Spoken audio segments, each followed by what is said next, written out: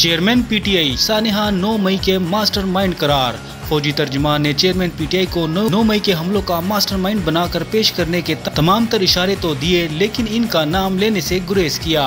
एक सहाफ़ी की जानब से 9 मई के हमलों के मास्टरमाइंड के नाम पूछे गए, लेकिन डीजीआईएसपीआर ने किसी का नाम लिए बगैर वाजिया किया कि मास्टरमाइंड वो थे जो गुजशत कई माह से वाम को फौज और इसकी क्यादत के खिलाफ गुमराह करने में मसरूफ थे। वजी अजम शबाज शरीफ ने वतन वापस पहुँचते ही बड़ी बैठक लगा ली। नवाज़ शरीफ की वापसी के लिए कानूनी टीम और सीनियर रहनुमाओं को मुशावरत के लिए तलब कर लिया। शबाज शरीफ फ्रांस और लंदन का दौरा मुकम्मल करने के बाद लाहौर पहुँच गए हैं। उन्होंने लाहौर पहुँचने के बाद लीगल टीम को मुशावरत के लिए तलब किया है। पाकिस्तान में बेरोजगारी बढ़ने लगी। वर्ल्ड ऑफ़ स्टैटिस्टिक ने दुनिया भर में बेरोजगार अफराद के अदाद शुमार जारी किए हैं, जिसके तहत पाकिस्तान छह इशारे पाँच फ़ीसद शराह बेरोजगारी के साथ दुनिया भर में चौबीसवें नंबर पर है।